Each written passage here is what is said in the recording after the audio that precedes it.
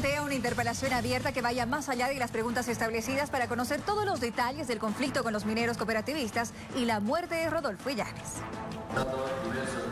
Las preguntas que el MAS elaboró están dirigidas a pedir a los ministros explicaciones sobre la situación del cooperativismo minero, el inicio del conflicto, las reuniones convocadas para el diálogo y otras cuestiones que para los opositores no aportarán a esclarecer los crímenes. No, no, las preguntas van a ser abiertas y obviamente va a haber una respuesta que tienen que establecer los ministros de manera coherente.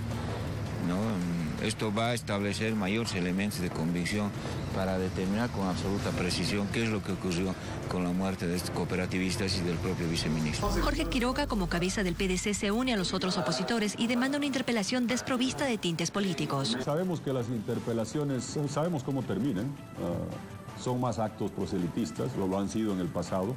Ojalá que esta vez, por uh, respeto al luto y dolor de muchas familias bolivianas, incluyendo la de Llanes, que sea de información y que no sea lo que hemos visto antes. El ministro de Minería y el de Gobierno concurrirán este miércoles en la mañana a la interpelación en la Asamblea.